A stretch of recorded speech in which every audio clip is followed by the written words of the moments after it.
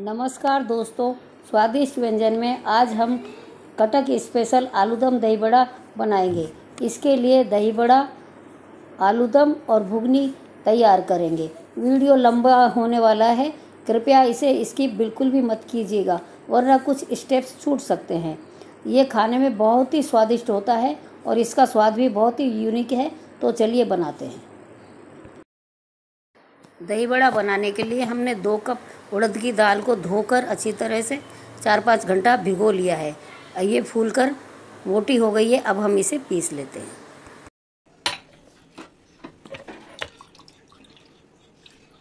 इसमें कम से कम पानी डालते हुए हम इसे एकदम पेस्ट बना लेंगे।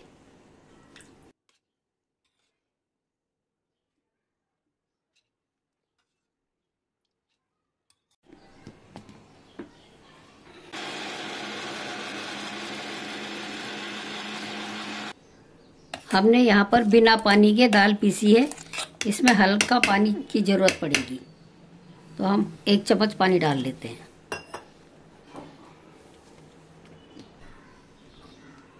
उड़द की दाल को हमने यहाँ पर पीस लिया है। ये इस तरह का पेस्ट होगा।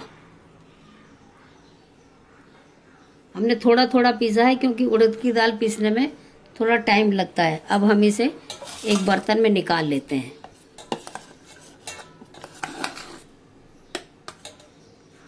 ये देखिए कितना गाढ़ा पीसा है। इसी तरह हम और दाल को भी पीस लेते हैं। दाल हमने यहाँ पर पीस ली है। ये, इसे अब हम एक ही डायरेक्शन में तीन चार मिनट के लिए फेंट लेते हैं।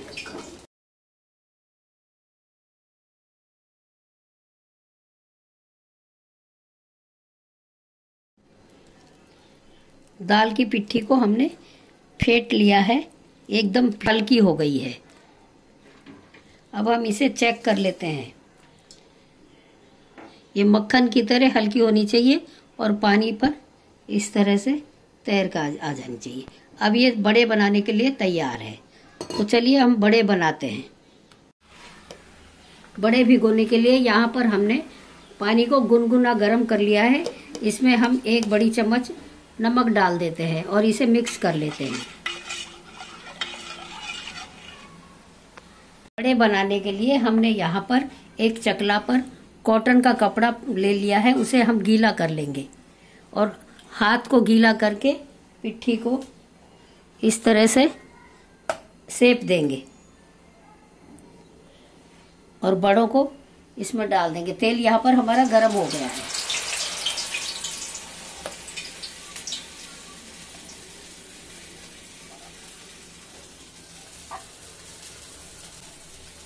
गैस फ्लेम मीडियम रखेंगे।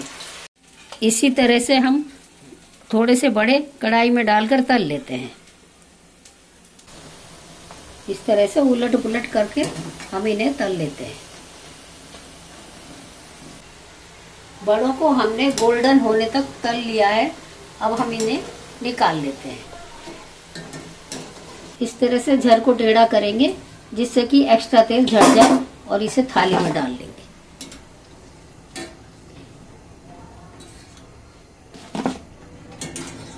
अब इसे गरम गरम ही हम पानी में डाल देंगे।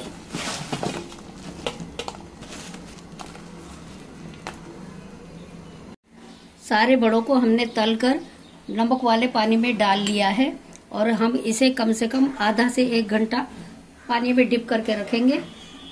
हमने दाल की पिट्ठी में नमक नहीं डाला था, ये नमकीन पानी से ही बड़े नमक को सोख लेंगे।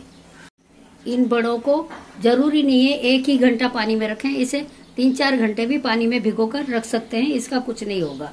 ये जैसे, वैसे ही रहेंगे और ये फूल के मोटे हो जाएँगे। ये हमने पहले डाले थे, वे बड़े फूल गए हैं एकदम।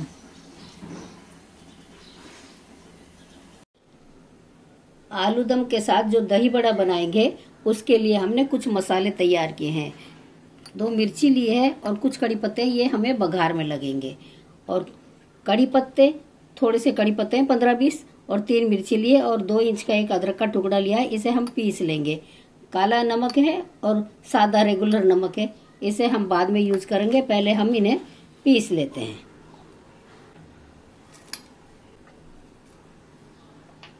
कड़ी पत्ते, अदरक और मिर्ची को हमने इस तरह का पीसा है, बहुत पेस्ट नहीं करना है, इसे हम दही में डालेंगे। दही बड़ा में डालने के लिए हमने यहाँ पर फ्रेश दही लिया है। इसे हमने मथ कर थोड़ा पतला किया है। अब ये मसाला हम इसमें मिला लेंगे।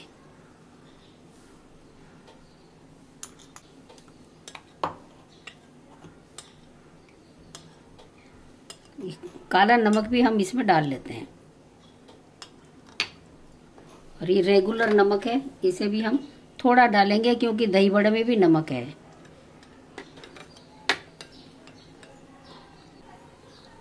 ये जो दही बड़े हमने बनाकर पानी में डाले थे, ये अच्छी तरह से फूल गए हैं और इन्हें नमक भी सोख लिया है।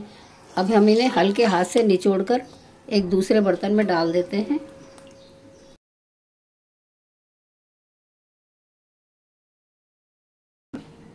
दही बड़ों को हमने पानी से निकाल कर निचोड़ कर रख लिया है। अब हम इसके ऊपर ये मसाला मिला हुआ दही डाल देते हैं।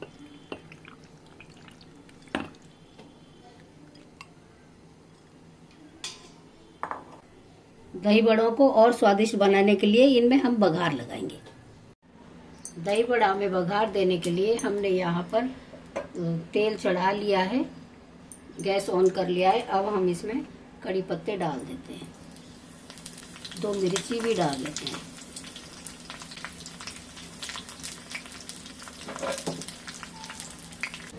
गैस फ्लेम स्लो रखा है। यहाँ पर कड़ी पत्ते भी लगभग तैयार हो गए हैं।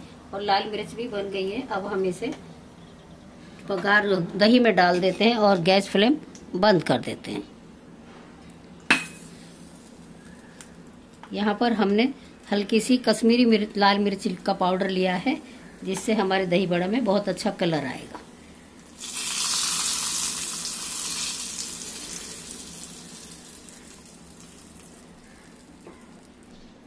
दही बड़ा सर्व करने के लिए तैयार है।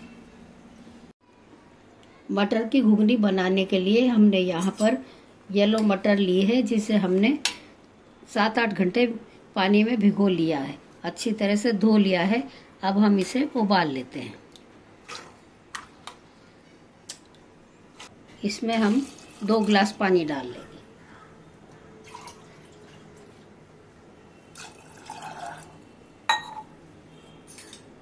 थोड़ी हल्दी डाल लेंगे। नमक स्वाद के अनुसार डालेंगे। वैसे तो भीगी हुई मटर है, एक डेढ़, एक दो सीटी में सीज जाएगी। अगर आपकी मटर नहीं सीजती है तो उसमें एक पिंच खाने का सोडा डाल सकते हैं। अब हम इसे गैस पर चढ़ा देते हैं। यहाँ पर हमने गैस ऑन कर लिया है और कुकर को चढ़ा दिया। इसे दो सीटी आने तक मीडियम फ्लेम पर सीजने देंगे। मटर की भुगनी हमने कुकर में डाल के सिजाने के लिए रखी थी। अब यहाँ पर हमारा कुकर ठंडा हो गया है। अब इसे खोल लेते हैं। हमने बीच में चेक किया था, लेकिन हुआ नहीं था तो हमने एक सीटी और दी थी। अभी एकदम बनकर बढ़िया हो गई है। इसे अब हम सर्विंग बाउल में निकाल लेते हैं।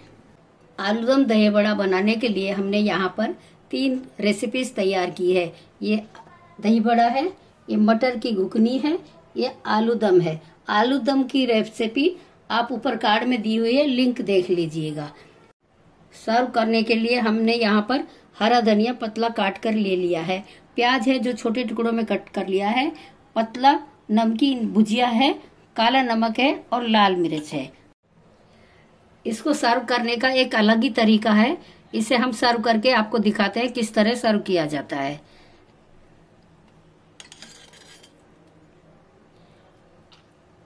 यहाँ हमने दो दही बड़े डाल लिए हैं। इसके ऊपर हम मटर की घुगनी डाल लेंगे।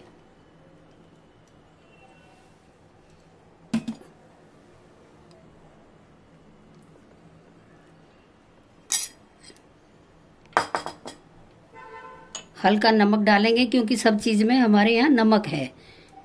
और मिर्ची भी डाल लेंगे। मिर्ची आप जैसा तीखा खाते हो, वैसा डाल लीजिएगा। अब इसके ऊपर हम आलू दम डालेंगे।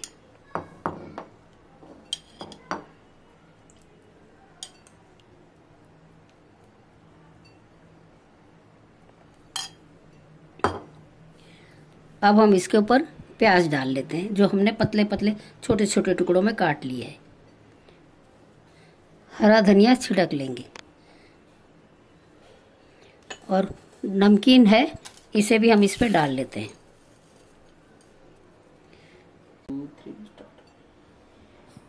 दही बड़ा खाने के बाद इसका जो दही है, उसे पीते हैं। ये बहुत ही स्वादिष्ट होता है। जो लोग कटक के बाहर रहते हैं और इसे खा चुके हैं, दही बड़ा और आलू दम को बहुत ही मिस करते हैं। हम, आपको हमारी ये रेसिपी कैसी लगी? कमेंट, अपने अनुभव कमेंट बॉक्स में डालिए।